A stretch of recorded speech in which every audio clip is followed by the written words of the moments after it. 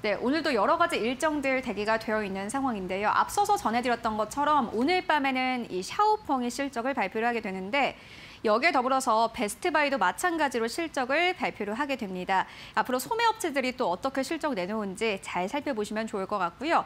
또 오늘 전 세계적으로는 PMI 지표가 발표가 됩니다. 미국에서는 11월 제조업 PMI, 서비스업 PMI, 그리고 합성 PMI 예비치가 모두가 발표가 되는데요.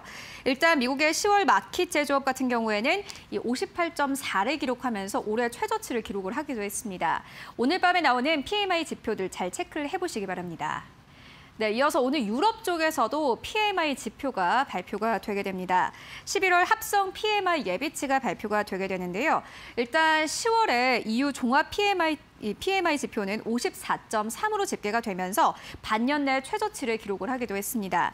이에 따라서 공급 제약과 코로나 우려가 아무래도 크게 영향을 미칠 것이다라는 이야기가 다시 한번 나오고 있으니까요. 유럽과 미국에서 발표가 되는 PMI 지표 잘 확인을 해보시고 또 각 기업들에게 어떻게 영향 미치는지 확인을 해보시면 좋을 것 같습니다. 네, 이어서 한국으로 옮겨가 보도록 하겠습니다. 오늘 한국에서는 이 신규 상장되는 기업이 있습니다. 마인즈랩이 오늘 신규 상장을 하게 되는데요. 코스닥 시장에 입성을 하게 됩니다.